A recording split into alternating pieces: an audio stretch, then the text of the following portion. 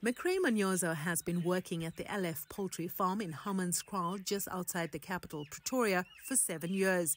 He says the facility has never had to deal with bird flu, largely because it adheres to strict sanitary and security measures to keep their flocks safe.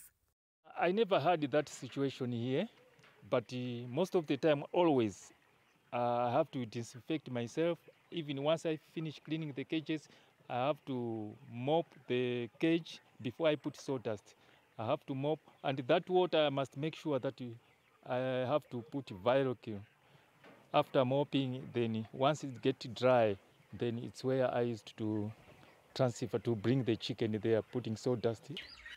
Bird flu outbreaks have become an all too regular occurrence in South Africa, affecting hundreds of poultry farms around the country.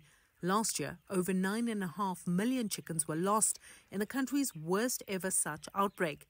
The uncertainty is placing a sheer strain on individual farmers and the industry as a whole. There's nowhere to find the chicken. Like the past two years, the, the chicks were very scarce. It was even empty here. We were just, just waiting because they said they saw the problem that the, there's a lot of disease on the eggs and, and chicks and chickens. That is why we have to be careful, very careful right now well, as we find this other chicken to make sure that they are alive.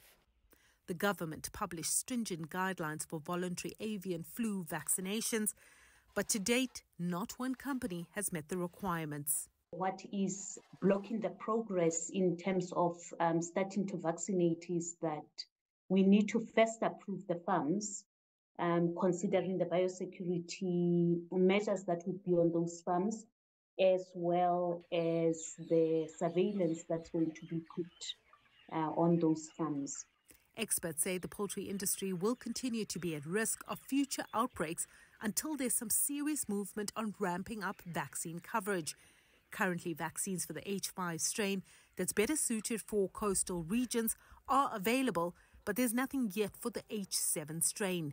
In the meantime, producers will have to work towards government vaccine approval before they can protect themselves.